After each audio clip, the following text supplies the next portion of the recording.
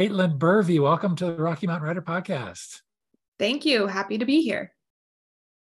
Great to have you on. Um, anybody who goes to your YouTube channel, Ignited Ink Writing, knows that um, we could likely go for a half an hour on any one of those individual videos and the topics and things you bring up. And we will get into all the video production and things you do.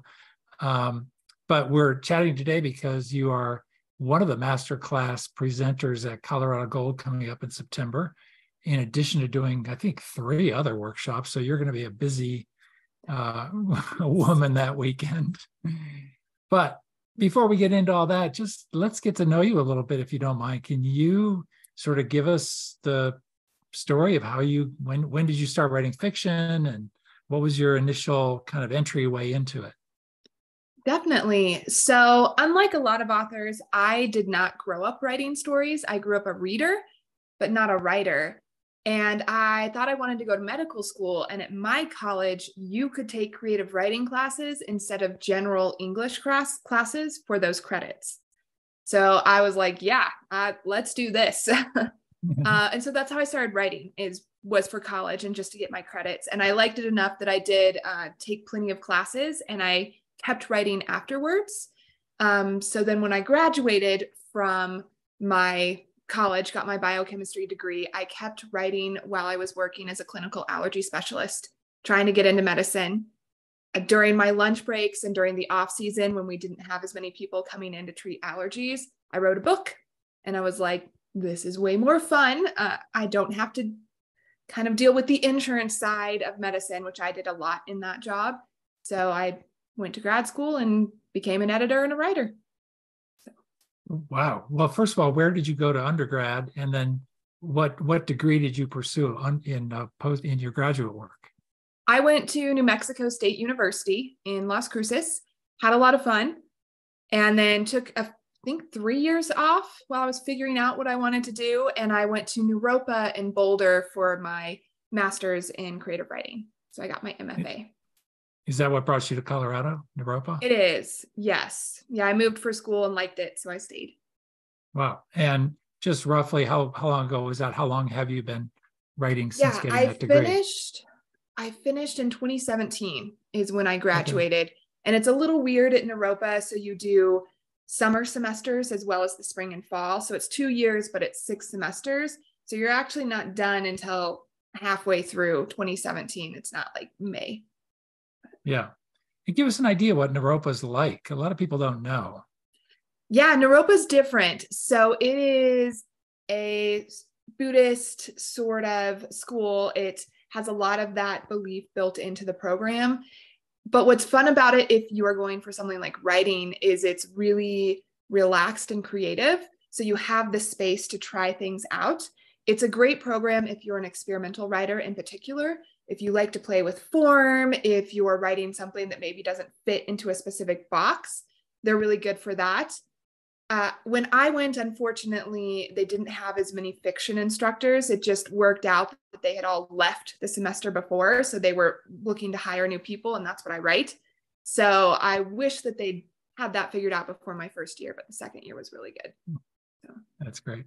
Did you produce something out of that that became published? I did. So my collection, which is up on my wall, is When Magic Calls, a collection of modern fairy tales. And I did an independent study as a part of my master's program on fairy tales. And a part of that was writing these short stories for that class. And they ended up going into my book. That's great. Wow. So after doing that, how did you per- continue to pursue fiction? And did you how soon did you also start the whole business around providing advice to writers? I started my business my last spring semester because I got a part time job working for somebody else as a contract writer, and they wanted me to have an LLC if I was going to be doing that. So I started my LLC before I was done with school. And within about six months after graduation, I realized that what I wanted to do didn't really exist at a company, which is editing books, but also being able to edit other things and write content for other people. I like being able to do multiple things at a time and not just be stuck in one lane. And so within a year, I was making a full time income just by freelancing. So I edit books. I was really lucky though, and I got a technical writing client where I actually made their YouTube help videos. We're going to talk about videos. And so one of my first clients was them, and they were like my bread and butter for a few years because they needed me to go through all of their help and make these little five minute clips. And uh, then I just got to edit books on the side until that kind of built up too. Just out of curiosity, what industry was that help YouTube in? in it is a scheduling software company. They are uh, called Schedule Source. And so if you are using that company for your employees and you go and are like, how do I do this? I'm the voice on the other side of those videos. and I made all of the little arrows that point to all of the things on the software. So did that give you some comfort in video production? Definitely. Yeah. yeah. I had already been playing with the YouTube channel, but that was taught me how to use the editing software in a different way that has been really helpful. Gotcha. Gotcha. Wow. So if I can just summarize, it sounds like for a while there it was it was doing the technical writing for the YouTube channel, also editing books that mm-hmm. would come your way, projects, and writing your own projects. Yes. Yeah. yeah. And it sounds like a lot, but the thing if you're a book editor is it's very feast or famine. So you get like four books at a time or you have no books. so yeah. you just write when it's the famine time of editing. Well, let's talk about the editing just for a minute or two. What kinds of books do you um, look for? Do you care? Do you read all genres? Um, give us a rough idea how you set up a fee to read a book. Do you charge differently, I assume, for a developmental edit versus a line mm-hmm. edit? Do you do line edits? I am one of the editors who does all of it. Some editors will spe- get um, in one track and really like that. So they'll only do developmental or they'll only proofread. I do all of it, but I will not proofread something that I have developmentally edited because I've read it Smart. too many times. Smart. I'm not the right eyes Smart. for that. Yep. Uh, when I charge, it is based on word count or standard manuscript page. So for editing, it is for developmental editing, sorry, it's $7.50 per 250 words. If you want the full, we're going to go through the whole book multiple times. So I'm going to go through and read it, give you feedback, and then you're going to clean it up, take however long you need to, and we're going to give it back to me and we're going to do it all again. Uh, if you only want like one round, then it would be half that, which is 375. And so a copy edit, I do the 375 per standard manuscript page. Uh, proofreading, I believe, is 250. It's been a while since I've had to yeah. calculate the proofreading one. Uh, and I will, though, require to look at the manuscript before I'll do that math for you yeah. because I won't take a book that's not ready. Yeah. So if you send it to me and I'm like, oh goodness, then what I will offer is something like, let's do one chapter. I'll give you a bunch of feedback that you can apply to the whole book. And I want you to go and do that, clean it up, then give it back to me before you're going to pay me to tell you the same thing over and over again. Yeah. Let's not do that. yeah. Um, and I will edit most things that are story based. So, most genres of fiction. I really love fantasy is what I write, of course, any sort yeah. of speculative fiction. But growing up, my second love was mystery and horror. That's what I read a lot of in addition to those things. So I, I really enjoy editing that. I've done some romance. I draw the line at certain types of content more than certain genres. Uh, I don't like to read super graphic rape scenes. So if you have that every other chapter, I'm not the editor for you. And then if you want me to copy edit something technical like a textbook or a business book or self help, I can copy edit those. There are certain types of nonfiction that I won't developmentally edit because I don't have the knowledge to be the best person for that. Yeah. How much does all that help your own personal creative writing it definitely makes it so that I can be more critical of my own writing. I feel like I'm better at self editing because I've looked at so many other things that way I am in the process right now of self editing the first book that I wrote, the one when I was uh, working as a clinical allergy specialist. And I hope to put it up on Kindle Vella. But I'm doing exactly what I would do if I was doing a developmentally developmental edit for another author. I'm yeah. going through and making those same notes, reading the whole thing, going to go back and make some big changes before I'll have an yeah. editor friend copy edit it before I post it. But yeah. Is that book almost ready? And what's the title? Yes. Uh, the title's the hardest part. In my head, for the whole time I have been writing it, it has been called Demon Writer. But why it's called that doesn't happen until like the last chapter. so it needs a I think it needs a different title. I've been playing, but it might it might stick. It might still be Demon Writer. It's a traditional medieval fantasy, kind of leans towards YA.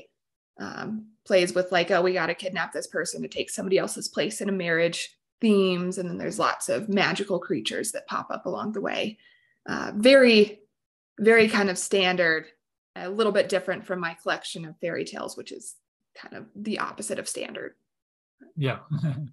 and uh, just to make sure I heard you correctly, Demon Writer, W R I T or R I D? R I D, Demon Writer. Writer. Uh, okay, yeah, gotcha. Like yep. a horse. just wanted to make sure. Yeah. Because demon writers, there, there are a lot of those around, you know. Yep. Yep. yep. Very cool. Wow. So you're you busy. You got your hands full. T- tell us when did the whole ignited ignited ink writing world take off because I just want to quickly put in a plug. Um, maybe I'll put in the link, and as we're talking about it here, I'll put in the link on the YouTube at least. Folks ought to go to your your YouTube channel. You're going to be, you know, just amazed at the variety of content and I don't know how many videos you have up there, and some with thousands and thousands of views with advice on, um, well, everything under the sun. There's just really calmly laid out, clear eyed advice on writing, on marketing, on on everything. Yeah, I started that 2018, I believe, is when I really started that channel and was consistent with it. And those videos are based on blog posts that I do on my uh, website as an editor. And then I'll take that blog post and basically just say it as a video. Mm-hmm. because people learn differently was my idea there. Some people like my boyfriend learns really well auditorial auditory auditorially yes. He uses he uses his ears. Yes. Yeah. And so i wanted that also just more opportunities for people to find me right if i'm in more places and there's this concept in marketing where if you make it use it as many ways and as many times as you can because you put in the effort and so I started that in 2018, kind of as a way to advertise myself, but it also feeds my need to be a teacher. I love teaching. That's why I do mm-hmm. the conferences. I just can't work in the academic environment that we currently have in our yeah. in our society. Yeah, but I love the teaching side. And so I get to do that through the YouTube channel and I get to do that through conferences. And really editing is just one-on-one teaching. Yeah. Yeah, sure. How did you come up with the whole production side of it? And just that blue screen and just deciding on a look and feel and just, you know, how you would um, project into the camera, the length of the videos. You, you, did you put a lot of thought into that or did that kind of evolve over time? Uh, that came from a lot of research, partly. I was researching, okay, what makes a good YouTube channel? What should be in the background? what's a good length of time. And this changes over time. When I first started, there was something that YouTube would do once your video hit the 10 minute mark, and they would push it out more often.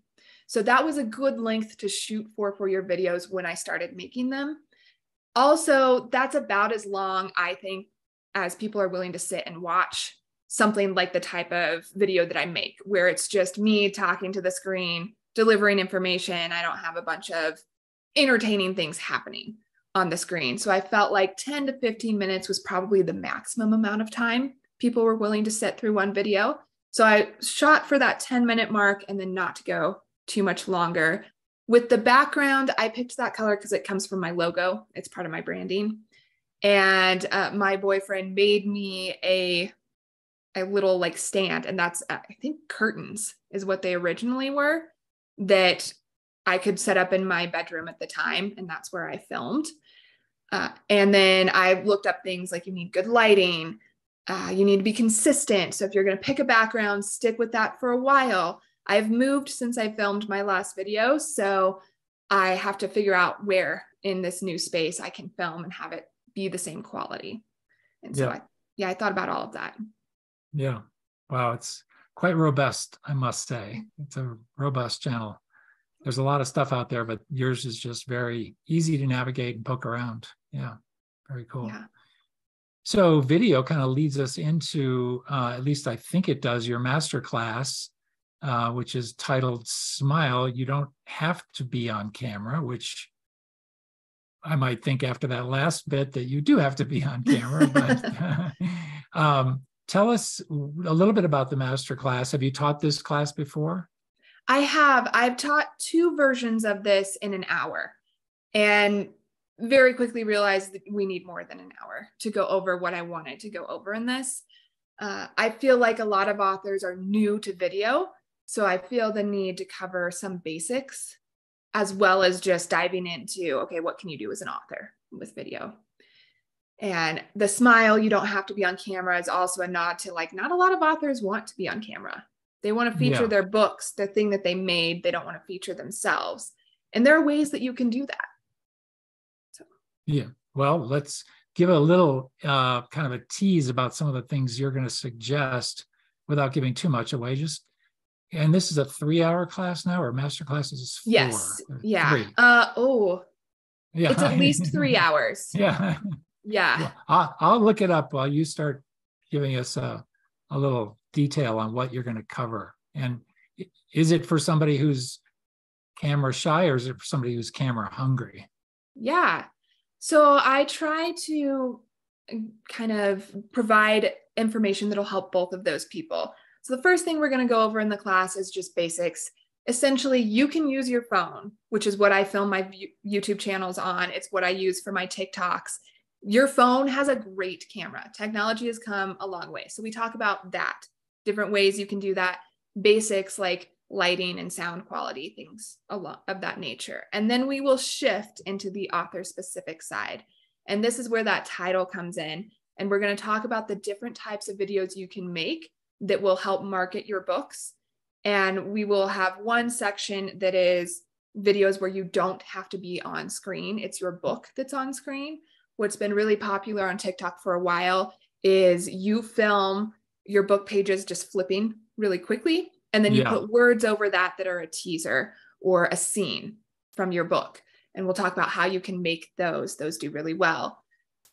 Then we'll talk about ones where you are on camera, how to talk about your book on camera, how you can play and hop on trends and expose your book that way where you don't have to actually talk. Maybe you're lip syncing, maybe you're uh, playing with a trend and you're making it so that it works for your book. There was one trend two years ago, I believe, on TikTok where it was a sound and people were dropping clothes on the floor. And then at the end, they would stomp their foot and they'd be wearing that outfit that they just dropped, right? Right. Right. Well, I did right. that with my book. I dropped a notebook and pens, and then I dropped printed out pages of my book. And then at the end, I dropped my book. And one thing that's really important, though, if you are going to dive into this world of book marketing through video, you got to have a great cover. They say that your cover sells your book. Uh, I won an award for my cover. I'm happy with it. I'm not saying it's the best one ever, but if you don't feel like your cover should win an award, go back to the drawing board, make them work on it more. Uh, it's worth it. It's going to be what sells your book. I get all the time people are like, I love your cover. What's your book about? And if they didn't yeah. love my cover, they wouldn't ask me that. So that's going to be really important if you're video marketing, because if you don't want to be on camera, or even if you do, it's going to be all about that book cover. Yeah. yeah. Then just getting to know those production details, like how to you know, the, the clothing example you you mentioned and the book example yours. Sometimes there's dozens and dozens of edits within one 30 second TikTok. They're so clever and so fast moving, but they require some patience at least to get used to how to editing edit with that with that app. It's they not. do. Yeah. yeah. Yeah. I would say too. So I do a lot of my stuff in the TikTok app itself. You can do a lot of editing in there. When you see the really crazy transitions, like somebody falls under their bed and then suddenly they're falling into water, a lot of those use software beyond what TikTok offers. Uh, but in my class, we're going to cover what TikTok does and what your other free editing programs are going to offer, because I'm going to assume that's what most people are going to start with. Also, it's not too complicated, so it's pretty easy to get started there. Like yeah. the clothing drop one, for me, that was just hitting pause on time. I just had to learn how to do that. And then TikTok added a feature where you can tell it how long to record and then it'll stop. And then you can move it around, right, and get ready for the next shot and tell it how long to record for the next one. That was super helpful when they started doing that. Oh, well, are you a TikTok person? Is that mainly where you put your emphasis? Because that world is crazy with books. It is, yes. So that is a great place to hop in if you're like, I don't know what social media to use for my book. TikTok is the hot place right now. There's a whole sub culture called BookTok. Right. And it's just all the people who love books. They talk about books, it's authors, it's readers, it's different people in the publishing industry. And uh, some, some some of them are just the, you can't even believe the volume of books that they're reading in a month. How yes. you know they're they're promoting, they're putting up a video a day talking about different books. I mean, the, yes, there are calm TikTokers. I like to think of myself as a calm TikToker, just sort of not getting too wild and crazy. But you just get the feeling like everybody reads books and they probably read three a day. You know, sometimes. Yeah, you do. You do. And yeah certain readers have always been voracious like that and the kindle program where they can subscribe and get as many as they want in a month that has just made them read even more yeah yep but it, it can be a little daunting at first you feel like how am i ever going to have a voice in this world um yeah what what what is your tiktok handle do you know it off the top of your head yeah it's just my name caitlin berve okay. Uh, okay. i didn't put author or anything like that because I wasn't sure what the channel would be when I made it. But right, right. Yeah. And do you do you promote your YouTubes on there? I do. I do some cross promotion. And then two, I repost my favorite TikToks to my other social media like Facebook or Instagram, even Twitter. The reason I do TikTok too is that that video editing and recording is so user friendly now uh, that it's easy to record in TikTok intending to download that video and put it somewhere else. Yeah. And yeah. Yeah. So that's helpful. But I put it, I kind of cross do everything. Yeah. Do you set aside certain time every day to work on social media? Is it a set thing or do you go in and out all day long? I know I am the type of person, TikTok is the only social media that gets me. I will doom scroll, as they call it, on TikTok, and I don't do that anywhere else because none of the other ones get me like that. So I don't. I have a timer that goes off at 3 p.m. for when to remind me to put my TikTok video up. And then I use a scheduling software for everything else. Even YouTube, I schedule when it gets released. And so then I do that schedule about once a month for all of the other platforms. And I usually set aside a filming day once or twice a month for TikTok. Same thing with my YouTube channel. I did take a break from my YouTube for about six months. Uh, same thing with my blog because I got really busy with paid work.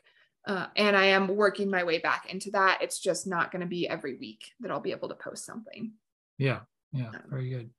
Well, getting back to the masterclass real quick, what should uh, people bring to the master class. And by the way, I looked it up. It is Friday from eight to eight to noon.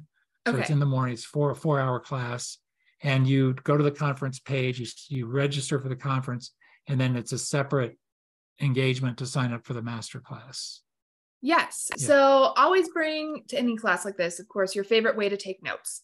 So whether that's a notebook and a pen or a computer, whatever you like, because any of my programs, I have little prompts built in where I'm like, okay, we just talked about this thing. Now I want you to take five minutes and think of some ways that this could apply specifically for you and how you can apply it to whatever you're working on.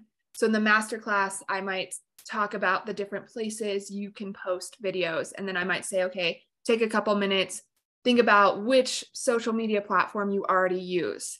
Can you apply what we're learning to this? Or are you brand new? Think through all of them. Which one might you want to start with? Uh, so notes and things for that. And then we are actually going to make videos in my class. So after we go through everything, you'll want to have your phone or some sort of a camera with you. And I will let you all run around, find a place, film a little video. Anyone who's comfortable, will throw it up on the screen and we'll talk about it. Uh, basically, kind of how this is going to work in the book world and how maybe we can make some adjustments to make it even better, but mostly it'll just be getting to see everybody's ideas. If you really want to hop into the video creation world, watch more videos about books and yeah. it'll give you more ideas for what you should do for your channel.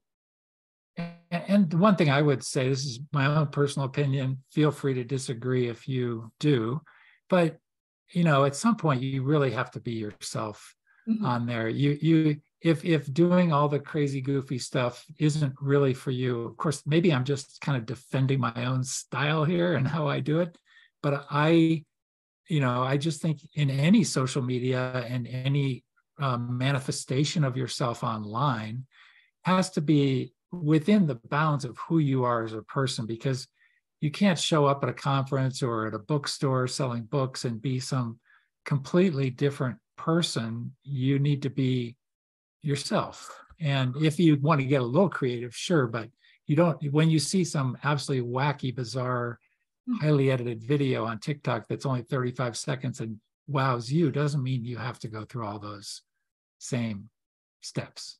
No, it doesn't. And the other thing to remember too, one of the reasons I love TikTok and what it's done for the video world is TikTok has made it so that it is totally fine to just film a quick video in your car. Yeah, and that right. is all the production value you need. Just make sure like the sun is shining on you, yeah. sort of a thing. Or you can go all out. If you love video and you love the editing, you can do like the crazy transitions where people hold up mask after mask after mask, and it's like something new every, I don't know, quarter of a second or something crazy. You can do that too. Yep. But you do whatever works best for you. And TikTok has made it acceptable to like learn as you go. So you just make your first video. It's the best you can do at that time. And that's fine. That that works. And then as you get better and better, great. Yeah. That works too. Yep. Yep. Good points. Excellent. Well, let's just quickly mention your three other workshops, at least the ones I found on the schedule Birds of a Feather, How to Write Diverse Characters, and Secret Life of Fairy Tales. Um, so folks should look for you at the conference teaching yes. those as well. So Birds of a Feather will be fantasy. It is discussion based where you can all come and we'll chat, we'll answer questions. There'll be other fantasy authors in there with me. Um, diverse characters. I'm from New Mexico. I was actually really uncomfortable when I first moved to Boulder because there was too many white people and there was nobody else there. So uh, we're going to talk about ways you can be respectful and write people who might be different from you so that you can have a diverse cast. And then the Secret Life of Fairy Tales will go through kind of the history of fairy tales and their evolution, why they're still so popular, why are we still telling the same stories from forever ago, and how you can apply that to your writing. So, yeah. Great, great, excellent. Well, like I said at the beginning, you're going to be um, have pretty full schedule um, for yeah. the weekend. You're you'll get a break maybe here and there, but I'm sure you'll feel pretty exhausted at the end of it. Um, and for those who know um, from previous conferences, you also um, put some effort into what you're wearing during the yes. And so, do you already have that all planned out? I do. I have my Red Riding Hood cloak that I usually bring every time I do a fairy tale something. Um, if you go to my TikTok, you'll see that I do some cosplay, just stuff in costume, because that's like my personality, right? I love that stuff it's fantasy. Um, I don't know otherwise. Is there a theme dinner at this conference? I this think not a if, year? if anything, it's just around that 40th anniversary of the Yeah. RMFW. Yeah. Yep. Yep. So, Very cool. but I do think about it before we get there. Yeah. Yeah. That's obvious. You probably have a bigger suitcase than most. That's my prediction. yep. Yep. well, as we wrap up here, we always like to give a recommendation for a book or a writer, uh, something you just want to pay it forward a little bit and highlight. So now's your chance. Yeah, at a conference about a year ago, I picked up a book called Lost on a Page. It is by, I have his name up here, David E. Sharp.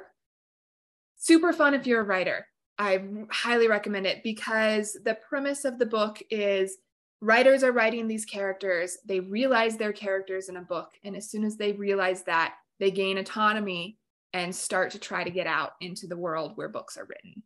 And now the writers are no longer in control. Super fun. It goes through books from lots of different genres, which also makes it really fun. So you'll probably find your genre in here. And if you're the type of writer who doesn't want to be stuck in a genre box, this is something you can do. You can just stick them all in one book. So it's a lot of fun. I really enjoyed it. That's great. Well, Caitlin, thank you so much for your time today. Um, good luck with all your endeavors, and we'll see you at Colorado Gold in uh, September. Yeah, I'm excited to go. Do you enjoy reading multiple genres? Or do you have a favorite, but from time to time you enjoy another handful? Then you should check out Lost on the Page by David E. Sharp. This book is so much fun, especially if you like multiple genres, because the premise is characters that are being written by writers have realized they are characters in books. And when they have that realization, they gain autonomy and can now change their stories and hop from story to story. So in this book, David writes a romance novel. He writes a sci-fi one. He his main character is a seedy noir detective. It is so much fun, especially for people who like to read different genres. So I highly recommend this one if that's what you enjoy, and if you like just a good old-fashioned adventure story.